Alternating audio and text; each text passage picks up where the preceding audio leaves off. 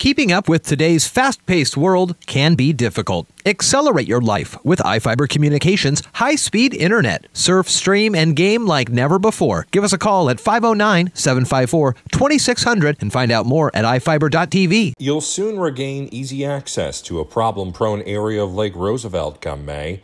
Work to restore and fortify a parcel affected by landslides on Porcupine Bay is nearing completion.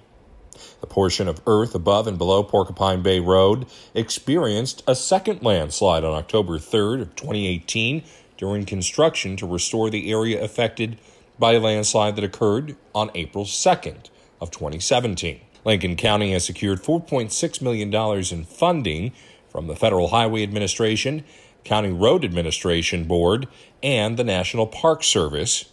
The project builds a soldier pile retaining wall with permanent ground anchors. Lincoln County Public Works Director Rick Becker says the infrastructure will support the uphill side and downhill side.